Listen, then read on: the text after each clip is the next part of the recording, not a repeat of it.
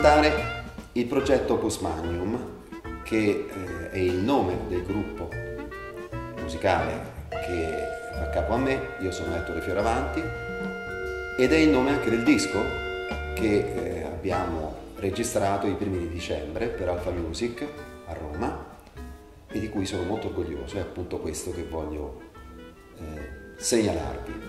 E per me è un punto d'arrivo che ha due coordinate principali. La prima è omaggiare due dei musicisti che più mi hanno influenzato dal punto di vista compositivo e esecutivo, cioè il rapporto che per me è essenziale fra carta scritta e trattamento della carta, trattamento della composizione.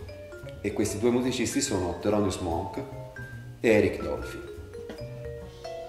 L'altra coordinata è la scelta dei musicisti, che peraltro è una caratteristica che Monk e Dolphy avevano sempre eh, operato con grande intelligenza. E i musicisti che con me suonano in Opus Magnum sono per me una, una garanzia.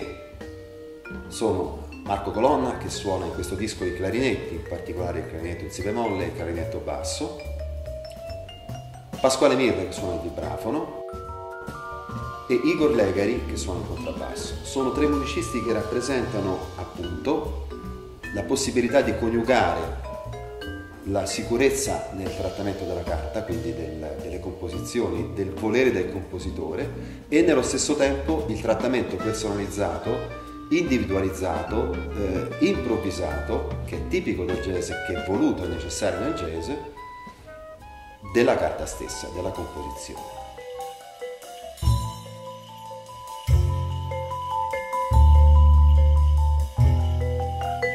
Brani contenuti nel disco che sono 10, sono 8 di mia composizione, uno che si chiama Minds di composizione di Marco Colonna e uno è eh, una trasposizione jazzistica ma molto rispettosa dell'Allegretto che è il secondo movimento della settima sinfonia di Beethoven.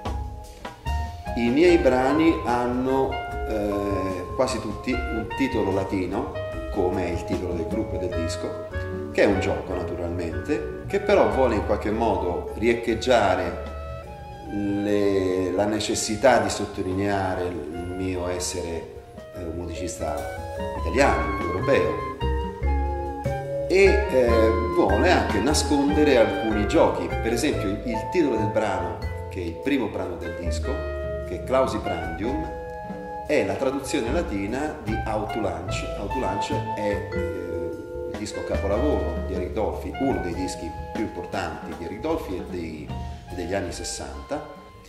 E autolunch significa eh, chiuso per pranzo, come Clausi Prandium, che è la traduzione latina di questo. Quindi è un gioco naturalmente.